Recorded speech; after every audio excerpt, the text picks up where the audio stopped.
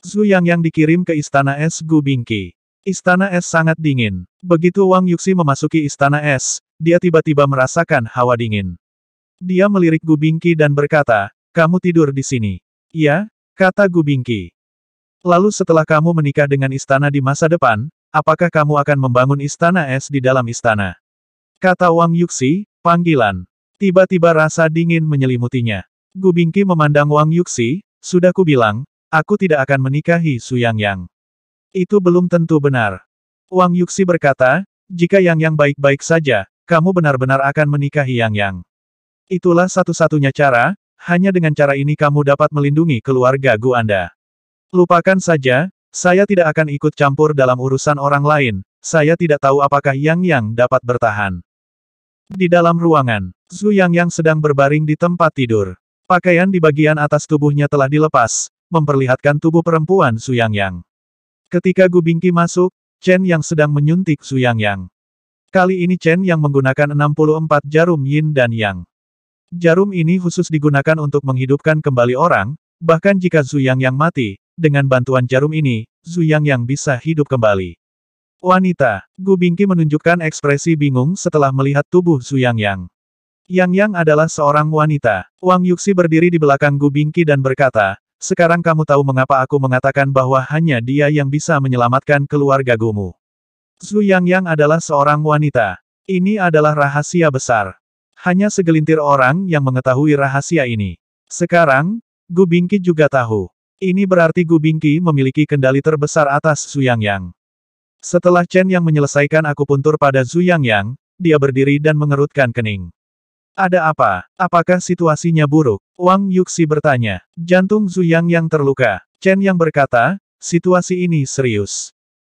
Meskipun saya menggunakan 64 jarum yin dan yang untuk menyelamatkan nyawa Zhu Yang Yang, jika saya benar-benar ingin memperbaiki jantung dan membuat Zhu Yang Yang hidup, jarum 64 yin dan yang saja tidak cukup.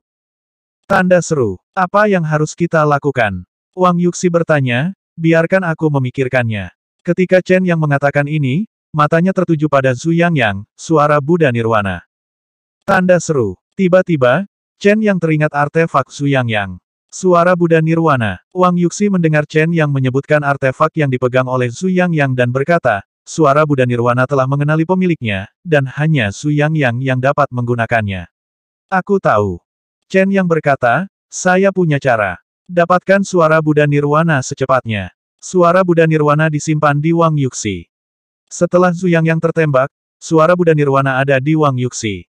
Saat itu, Zhu Xuanhong hanya ingin mengambil ponsel Zhu Yang Yang dan menghancurkan barang bukti di dalamnya. Untuk artefak suara Buddha Nirwana, sebaliknya, dia tidak tertarik. Wang Yuxi untuk sementara menyimpan suara Buddha Nirwana. Hanya Zhu Yang Yang dapat menggunakan suara Buddha Nirwana. Selama Zhu Yang Yang tidak mati, tidak ada yang bisa artefak ini. Wang Yuxi mengambilnya dia mengeluarkan, suara Buddha Nirvana, dan menyerahkannya kepada Chen Yang. Chen Yang memegang, suara Buddha Nirvana, di tangannya dan memandang Gu Bingqi dan Wang Yuxi, kalian berdua keluar dulu. Kedua orang itu tidak tahu bagaimana Chen Yang akan menyelamatkan Zhu Yang Yang, jadi mereka tidak punya pilihan selain mendengarkan kata-kata Chen Yang dan berjalan keluar. Chen Yang memegang, suara Buddha Nirvana, di tangannya dan merasakan besarnya kekuatan spiritual yang terkandung dalam suara Buddha Nirwana. Artefak itu adalah artefak, sungguh luar biasa.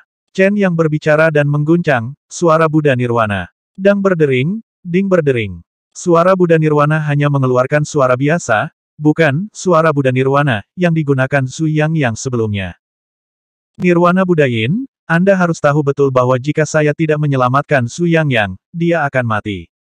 Chen yang berkata kepada suara Buddha Nirwana, sekarang, saya perlu menggunakan kekuatan spiritual Anda untuk menyelamatkannya. Jika Anda ingin dia hidup, pinjamkan saya kekuatan spiritual Anda. Bukankah Anda senjata ilahi? Perlahan-lahan ia dapat menyerap energi spiritual dan mengubahnya menjadi kekuatan spiritual. Tidak ada respon dari suara Buddha Nirwana. Chen yang mengguncang, suara Buddha Nirwana, dengan penuh semangat, apakah kamu mendengarnya?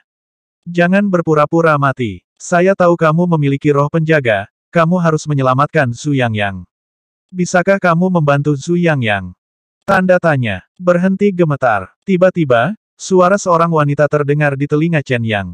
Seorang gadis berusia 20-an melayang di udara. Bagaimana saya bisa menyelamatkannya? Gadis itu bertanya. Sederhana sekali, transfer kekuatan spiritual dalam suara Buddha Nirwana kepadaku. Chen yang berkata, saya perlu menggunakan kekuatan spiritual ini untuk menyelamatkan Su Yang Yang. Kamu adalah manusia fana, bagaimana kamu bisa menahan kekuatan spiritual? Gadis itu berkata, saya bisa menggunakan mutiara spiritual. Chen yang berkata, saya menyimpan kekuatan spiritual suara Buddha Nirwana di mutiara Dewa Roh, dan kemudian mentransfer kekuatan spiritual dari mutiara Dewa Roh ke dalam tubuh saya sedikit demi sedikit, dan akhirnya menggunakannya untuk menyelamatkan Su Yang Yang. Gadis itu mengangguk, aku berjanji padamu. Gadis itu menghilang. Pada saat ini, Chen yang merasa bahwa kekuatan spiritual suara Buddha Nirwana sedang dimasukkan ke dalam manik dewa spiritual. Suara Buddha Nirwana adalah artefak, bukan Horcrux. Selama ribuan tahun, suara Buddha Nirwana suara menyerap energi spiritual langit. Dan bumi dan diubah menjadi kekuatan spiritual. Kekuatan spiritual yang terkandung di dalamnya tidak dapat dibandingkan dengan bahan obat. Setelah kekuatan spiritual suara Buddha Nirwana dimasukkan ke dalam mutiara dewa spiritual, Sueling terbangun terakhir kali, Sueling menghabiskan mutiara dewa roh untuk membantu Chen Yang. Energi spiritual di dalam akhirnya tertidur lelap. Tanpa diduga, setelah menerima kekuatan spiritual dari suara Buddha Nirwana, Su Eling akan terbangun. Setelah Chen yang merasakan Su Eling bangun, senyuman bangga muncul di sudut mulutnya. Chen yang sengaja ingin menyerap kekuatan spiritual dari suara Buddha Nirwana. Meskipun ini agak tidak tahu malu, siapa yang bisa menahan godaan artefak? Su Yang Yang, aku di sini untuk menyelamatkanmu. Aku pasti tidak ingin memanfaatkanmu dan berbohong padamu. Chen yang menekankan tangannya ke dada Su Yang Yang. Pada saat ini, dia sedang mentransfer kekuatan spiritualnya ke dalam tubuh Su Yang Yang. Kekuatan spiritual ini puluhan kali lebih murni daripada energi sejati. Setelah Su Yang Yang memperoleh kekuatan spiritual Chen Yang dan menggabungkannya dengan jarum 64 yin dan yang milik Chen Yang sebelumnya, lukanya sembuh dengan cepat. Jantung yang paling kritis juga telah diperbaiki. Pada saat ini, Chen yang akhirnya menghela nafas lega. Dia menarik tangannya kembali. Saat ini, suara Buddha Nirwana telah kehilangan kilaunya. Tangan Chen yang menyentuh suara Buddha Nirwana, jangan khawatir, saya akan memberitahu Zhu Yang Yang untuk membawa Anda ke tempat-tempat dengan energi spiritual yang melimpah sehingga Anda dapat menyerap lebih banyak energi spiritual di sana. Zhu Yang Yang adalah seorang pangeran dan pasti akan membantu energi spiritualmu dengan cepat. Apakah ini bagus? Suara Sueling berdering. Sueling berdiri di depan Chen yang dengan telanjang kaki dan tanpa pakaian. Sueling sangat cantik. Semua hal indah di dunia ini tidak ada apa-apanya jika dibandingkan dengan Sueling. Jika memang ada peri di dunia ini, dia akan terlihat seperti Sueling. Begitu Chen yang melihat Sueling, dia memeluk Sueling dengan kedua tangannya dan tidak bisa menahan kegembiraannya, kamu akhirnya bangun. Kupikir kamu tidak akan bangun. Aku berjanji tidak akan pernah meletakkan isi mutiara Dewa Roh di masa depan. Energi spiritual habis dan aku tidak akan membiarkanmu tertidur lagi. Jangan memelukku terlalu erat, kata Sueling. Memelukmu secara erat. Ketika Chen yang mendengar kata-kata Sueling, dia tiba-tiba terkejut. Dia benar-benar memeluk Sueling. Chen yang tiba-tiba memeluk Sueling. Roh salju adalah roh penjaga dan tidak boleh ada yang menyentuh roh salju. Tapi sekarang, Sueling dipeluk Chen Yang.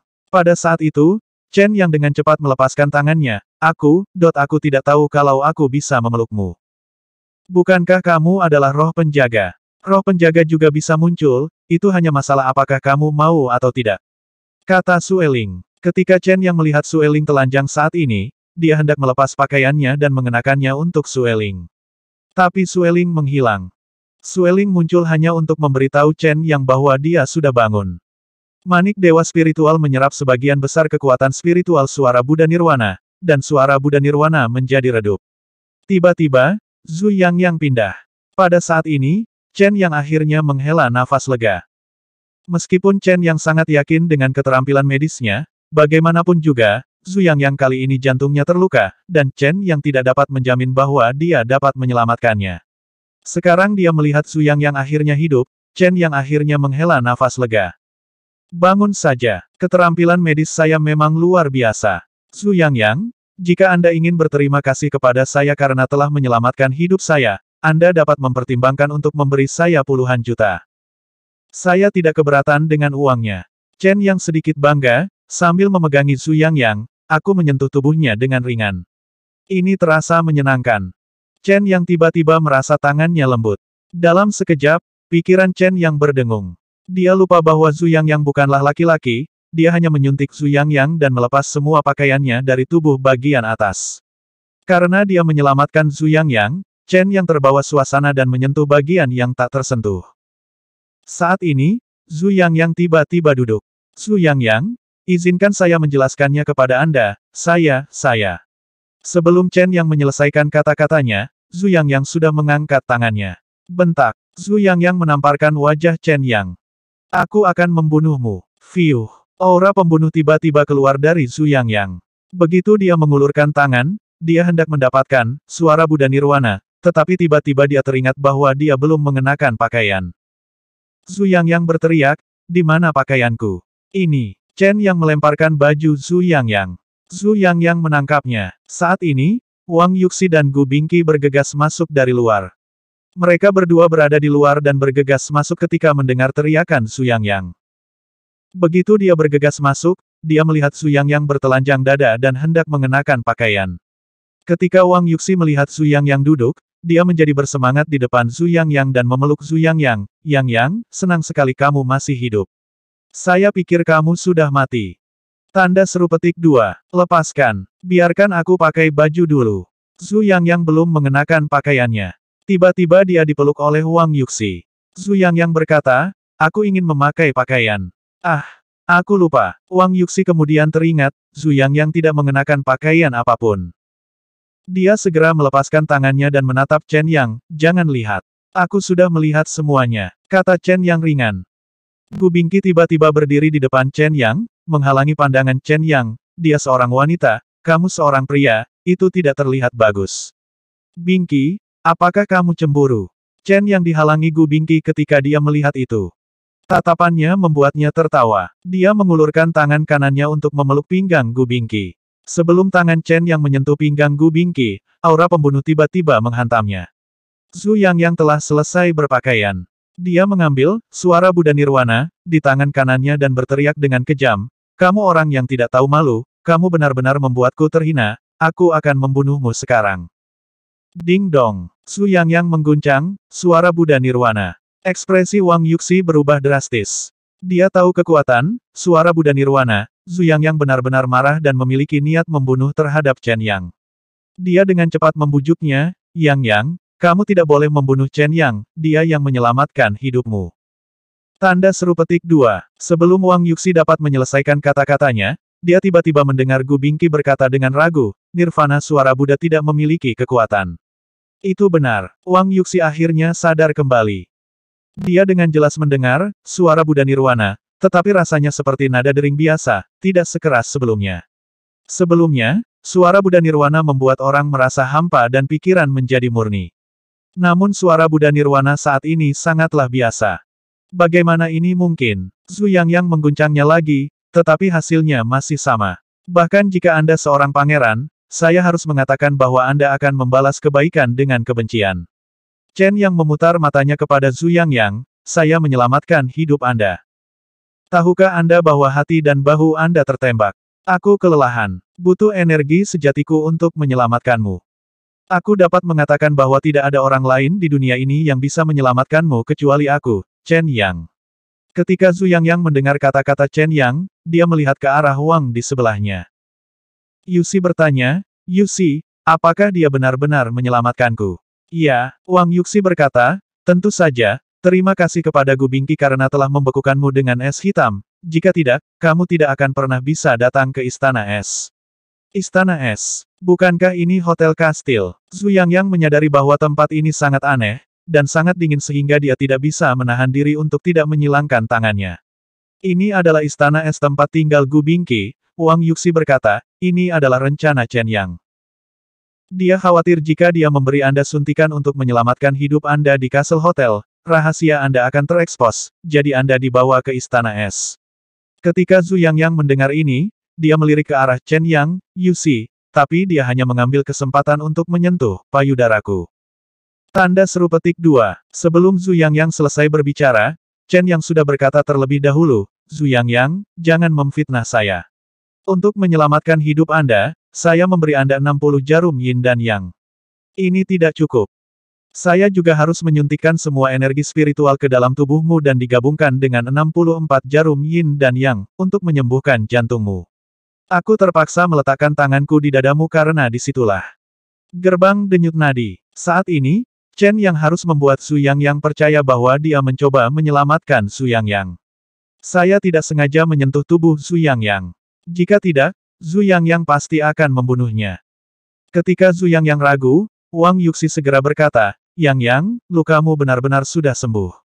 Lukanya sudah hilang. Zhu Yang Yang terkejut dan segera menunduk, dan tentu saja dia melihat lukanya telah sembuh. Dia ingat dengan jelas bahwa dia tertembak di jantungnya, tetapi sekarang, tidak ada luka yang terlihat di sana.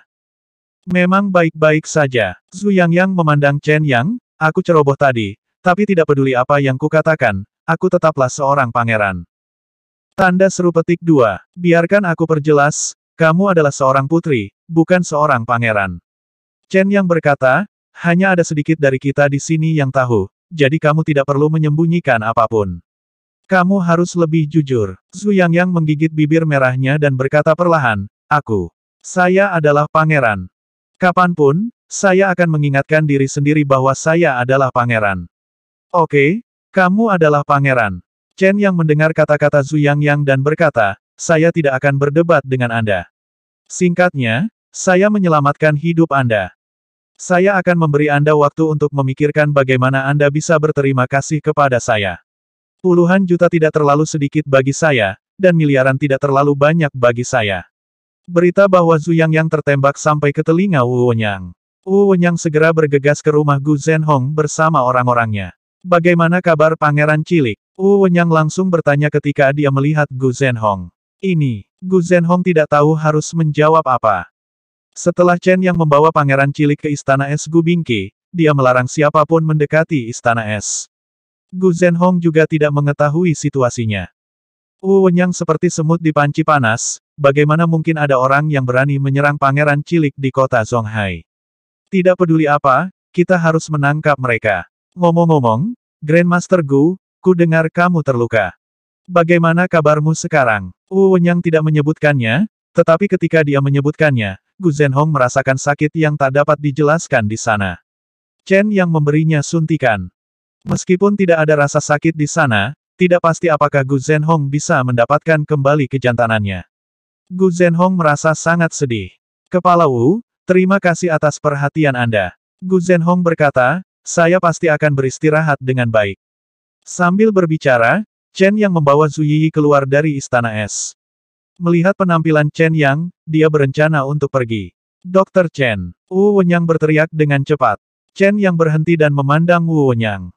Wu Wenyang tiba di depan Chen Yang dan bertanya dengan tergesa-gesa, bagaimana kabar pangeran? Dia, bagus sekali. Chen Yang berkata, apakah semuanya baik-baik saja? Jika saya mengambil tindakan, Apakah akan terjadi sesuatu padanya? Chen yang berkata, namun, pangeran cilikmu agak pelit. Pelit. Wu Wenyang terkejut dan menatap Chen Yang. Bukankah aku menyelamatkan nyawanya? Pangeran cilik bahkan tidak mau memberiku puluhan juta. Chen yang menggelengkan kepalanya, orang ini terlalu pelit, dan aku tidak akan pernah mau menyelamatkannya lagi di masa depan. Wu Wenyang memegang tangan Chen Yang, dokter. Chen, Anda menyelamatkanku kali ini. Aku berhutang budi padamu. Ketua Wu, saya ingat apa yang Anda katakan. Setelah Chen yang mengatakan ini, dia membawa Zhu Yi kembali ke mobil. Tuan muda, kita akan pergi ke mana? Zhu Yi bertanya. Tentu saja aku akan pulang. Chen yang memandang Zhu Yi dan berkata, kamu belum pernah ke Tang Yuan tempat saya tinggal. Saya akan mengajak Anda menemui mantan istri saya Tang Sueyun. Tang Sueyun. Zhu Yi berhenti sejenak ketika dia mendengar nama itu, saya mendengar gurunya menyebut Tang Sueyun.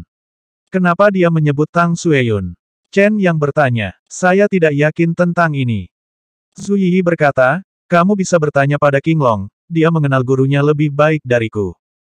King Long. Setelah Chen yang mendengar Zhu Yi menyebut King Long, dia tiba-tiba teringat pada Leian, sudahkah Anda bertanya kepada King Long tentang perawat wanita Leian? Saya bertanya pada King Long. Setelah menerima panggilan telepon, perawat wanita itu berubah pikiran dan kembali ke kota Zonghai bersama suaminya. Zhu Yi berkata, tidak ada yang bisa kami lakukan mengenai masalah ini. Mereka memilih untuk mati sendiri, dan tidak ada yang bisa menyelamatkan mereka. Chen yang menghela nafas pelan, saya tidak tahu apa yang saya pikirkan. Saya benar-benar berpikir bahwa saya akan hidup setelah saya kembali. Namun, saya penasaran mengapa ibu hantu Gu Yue membiarkan saya pergi. Apa karena ada nafas ayahku di dalam tubuhku? Ngomong-ngomong, kamu bilang ayahku menghilang setelah dia pergi ke kota kekaisaran. Iya, Zhu Yi mengangguk. Itu artinya setelah dia menyelamatkanku di kota Zonghai, dia pergi ke kota kekaisaran dan belum ada kabar. Chen yang berkata, kalau begitu saya akan pergi ke kota kekaisaran untuk menyelidikinya. Begitu Zhu Yi mendengar bahwa Chen yang berkata dia akan pergi ke kota kekaisaran, dia buru-buru bertanya, Tuan Muda, Anda akan pergi ke kota kekaisaran untuk mencari tahu tentang hilangnya tuannya. Tanda tanya, saya belum memutuskan untuk pergi ke kota kekaisaran. Chen yang berkata, saya berjanji kepada orang lain untuk pergi ke Akademi Elit Kerajaan, tetapi saya telah menundanya sejak lama. Sekarang saya akan menggunakan kesempatan ini untuk pergi ke kota kekaisaran untuk menyelidiki urusan ayah saya. Meskipun dia tidak membesarkanku, dia pernah menyelamatkanku. Jika kamu melewatiku, kamu punya alasan untuk memeriksa keberadaannya.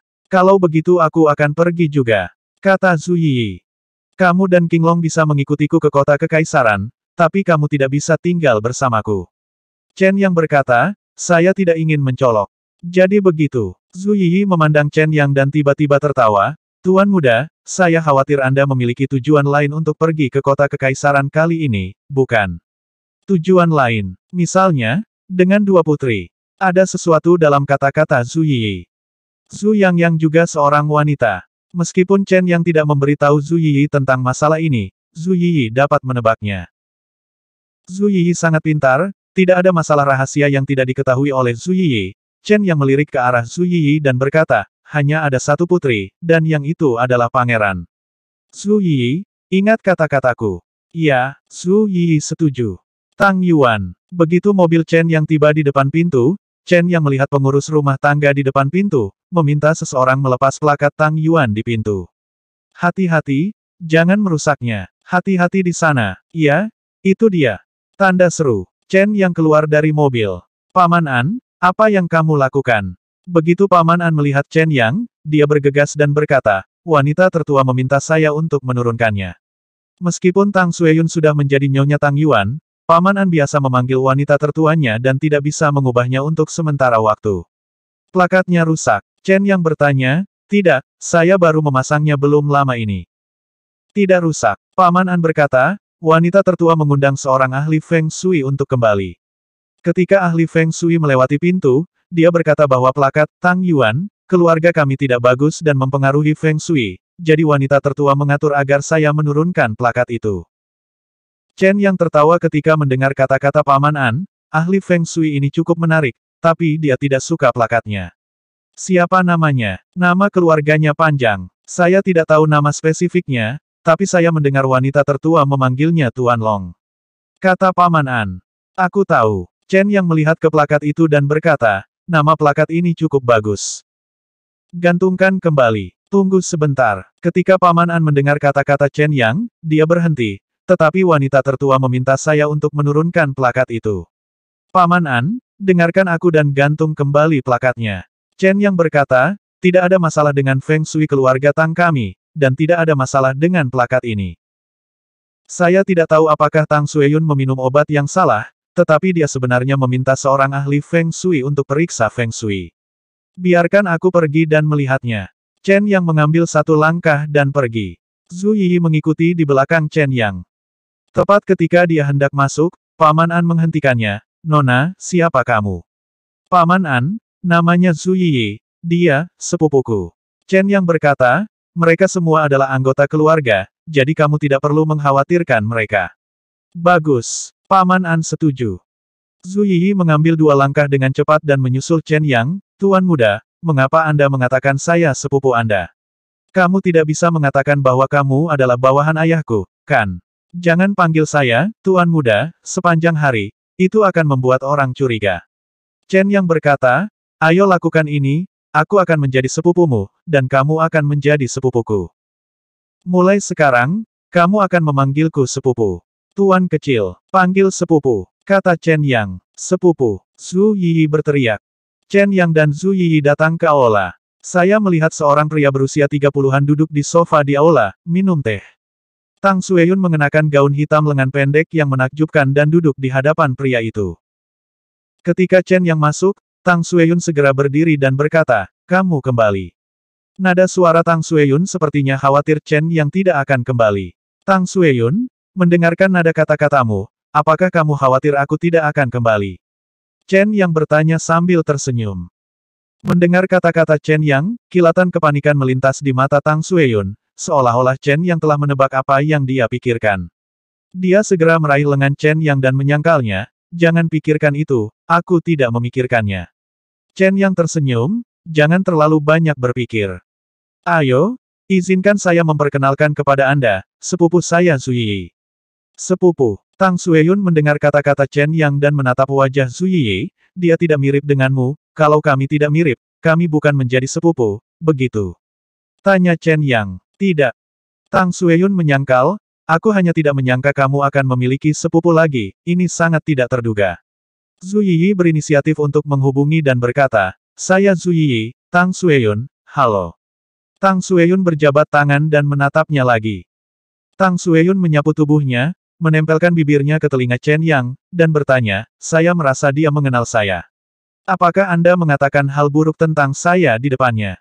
Tidak, Chen Yang tersenyum, kamu berhenti memikirkannya. Chen Yang mendatangi pria berusia 30-an, duduk, dan melirik pria itu, Sueyun, siapa ini? Tang Sueyun duduk di sebelah Chen Yang dan merangkul lengan Chen Yang, dia adalah Master Long dari Sekte Tianxi. Chen Yang bertanya dengan ragu, Sekte Tianxi. Aku belum pernah mendengarnya. Apa fungsinya? Begitu Chen Yang mengatakan ini, Guru Long wajahnya menjadi gelap, dan dia berkata dengan tidak senang, Sekte Tianxi kami memiliki sejarah ribuan tahun, berspesialisasi dalam Feng Shui dan mengubah nasib orang. Tang Sueyun berkata dengan cepat, Chen Yang, Master Long benar-benar akurat. Chen yang mendengarkan. Ketika Tang Sueyun mengatakan ini, dia berkata dengan tenang, Tang Sueyun, ketika saya kembali tadi, saya melihat bahwa plakat di pintu telah dilepas. Mungkinkah Anda ingin mengganti plakat itu? Iya, Tang Sueyun berkata, Tuan Long berkata bahwa Tang Yuan kita perlu mengganti nama kita. Alasan mengapa begitu banyak hal terjadi pada keluarga Tang terkait dengan nama keluarga Tang kita. Oleh karena itu, kita perlu mengubah nama dan mengubah tata letaknya. Hanya dengan cara ini kita dapat mengubah feng shui keluarga Tang kita, dan kita berdua bisa, bisa kembali bersama. Haha. Ketika Chen yang mendengar perkataan Tang Sueyun, dia tidak bisa menahan tawa, Tang Sueyun, kamu pasti tidak akan percaya bahwa hanya dengan mengganti nama kita bisa membuat kita menikah lagi, kan? Menurutku kamu benar-benar sakit dan perlu perawatan medis. Ups. Tanda seru. Begitu Chen yang mengatakan ini, Tang Sueyun mengulurkan tangannya dan memutar kaki Chen yang dengan keras, apa yang kamu bicarakan? Sakit. Chen yang tidak menyangka Tang Sueyun akan langsung menggerakkan tangannya. Dia memegangnya tangan Tang Sueyun dan memandang ke arah Tang Sueyun, Tang Sueyun, biar ku beritahu, yang disebut ahli Feng Shui ini adalah pembohong pada pandangan pertama. Alasan mengapa keluarga Tang seperti ini tidak ada hubungannya dengan Feng Shui, tapi beruntung. Adapun kita berdua, itu tidak ada hubungannya dengan Feng Shui di sini. Lancang. Begitu Chen yang selesai berbicara, Guru Long memarahinya, beraninya kamu menyebut saya pembohong. Saya adalah murid dari Sekte Tianxi. Tahukah Anda bahwa Duan Kilin adalah paman saya? Tanda seru petik 2. Tunggu sebentar. Chen yang menyela Master Long ketika dia mendengar Master Long menyebut Duan Kilin secara langsung. Saya tidak mendengar dengan jelas sekarang. Anda bilang Duan Kilin adalah pamanmu. Itu benar. Master Longhe berkata dengan bangga, Duan Kilin adalah kebanggaan Sekte Tianxi kami. Dia dan guruku sama-sama lahir di Sekte Tianxi. Tuanku tetap tinggal dan menjadi pemimpin. Paman Duan Kilin pergi ke kota kekaisaran untuk menghususkan diri dalam menampilkan Feng Shui kepada keluarga kerajaan. Izinkan saya memberitahu Anda, sangat sedikit orang yang telah melihat wajah asli paman saya Duan Kilin. Dia seperti naga yang melihat kepalanya tetapi tidak pernah melihat ekornya. Orang biasa tidak dapat mengundangnya. Berapa kali saya bertemu paman saya Duan Kilin. Setiap kali saya melihatnya, saya mendapat banyak manfaat. Tanda seru petik 2. Duan Kilin adalah pamanmu. Ketika Tang Sueyun mendengar kata-kata Tuan Long, matanya bersinar karena kegembiraan. Tuan Long, Anda belum pernah menyebut hal ini sebelumnya. Huh, kenapa kamu perlu menyebutkan hal semacam ini? Master Long tampak bangga, jika saya menyebutkan nama paman saya di mana-mana, orang lain akan berpikir bahwa saya tidak memiliki kemampuan dan ingin mencari nafkah dengan mengandalkan pada pamanku. Tapi aku tidak tega nasib malang orang ini, Tuan Tang, aku juga melewati rumahmu dan melihat feng shui rumahmu tidak bagus, jadi aku mengucapkan beberapa patah kata lagi. Tang Sueyun segera berkata kepada Chen Yang, saya bisa membuktikan hal ini. Ketika saya sampai di rumah, saya kebetulan bertemu Tuan Long. Dia juga lewat di depan pintu kami. Setelah beberapa pandangan, dia tahu apa yang terjadi dengan rumah kami. Tanda seru. Setelah Tang Sueyun mengatakan ini, dia menempelkan bibirnya ke telinga Chen yang lagi. Dia berbisik, saya juga tahu bahwa kita berdua sudah bercerai. Dia berkata, bahwa keretakan dalam hubungan kami disebabkan oleh Feng Shui yang buruk. Saya memikirkannya dan apa yang dikatakan Guru Long masuk akal. Ketika kami pergi, kemudian, Feng Shui keluarga Tang menjadi pasif, dan hubungan kami memburuk. Sebelumnya, hubungan kita berdua selalu sangat baik. Chen yang memeluk Tang Sueyun, dasar bodoh, menurutmu kamu hanya percaya saja. Hal-hal tentang keluarga Tangmu telah tersebar di internet sejak lama. Semua orang tahu apa yang terjadi. Lupakan saja, jangan bicara lagi. Chen yang mengeluarkan ponselnya dan mencari nomor teleponnya. Apa yang sedang kamu lakukan? Tang Sueyun bertanya. Biarkan saya mencari nomor ponsel Duan Kilin. Orang ini memberi saya nomor ponsel dan saya tidak tahu di mana dia melemparkannya. Chen yang bergumam, Mana nomor itu? Duan Kilin. Apakah Anda kenal dia? Tang Sueyun bertanya. Ceritanya panjang, aku akan bicara denganmu nanti. Melihat Tang Sueyun tidak ingat apa yang terjadi di rumah sakit Songhai, Chen yang tidak mau repot-repot menjelaskan kepada Tang Sueyun. Dia akhirnya menemukan nomor ponsel Duan Kilin. Chen yang memutar nomor itu di depan Master Long, Duan Kilin, kamu di mana? Mandi. Duan Kilin berkata, Apakah kamu ingin ikut dengan kami ke kota Zonghai? Tentu saja, kata Duan Kilin. Kalau begitu datanglah. Chen yang berkata, saya di rumah Tang Sueyun, yang merupakan villa keluarga Tang asli di Longshan. Bisakah Anda datang 10 menit lagi? 10 menit. Saya bisa naik helikopter. Duan Kilin He berkata, tetapi apakah keluarga Tang memiliki landasan pendaratan helikopter? Villa keluarga Tang cukup luas. Datang saja dengan helikopter. Saya akan menunggumu di sini. Setelah Chen yang selesai berbicara, dia menutup telepon-telepon dan berkata padanya dengan ringan. Tuan Long berkata, tunggu 10 menit, Duan Kilin akan datang dengan helikopter. Chen yang meletakkan ponselnya. Ketika dia mengatakan bahwa Duan Kilin akan segera datang dengan helikopter, Tuan Long sebenarnya tertawa. Kamu bilang pamanku akan segera terbang ke sini. Iya, Chen yang berkata dengan pasti, dia berjanji akan tiba di sini dalam waktu 10 menit, tetapi mengingat beberapa keadaan yang tidak terduga, 15 menit sudah cukup. Haha, Tuan Long tertawa lagi. Matanya menatap Chen Yang, biarku beritahu, pamanku Duan Kilin saat ini berada di kota Kekaisaran, bukan kota Zonghai. Apakah menurutmu 15 menit cukup untuk pergi dari kota Kekaisaran ke kota Zonghai? Mata Chen Yang He memandang Master Long dan berkata dengan tenang, jangan khawatir, Kataku, 15 menit sudah cukup. Ketika Master Long mendengar kata-kata Chen Yang, dia tiba-tiba mengambil ponselnya dan menelepon. Paman, ini aku, apakah kamu di kota kekaisaran? Tuan Long memanggil pamannya Duan Kilin.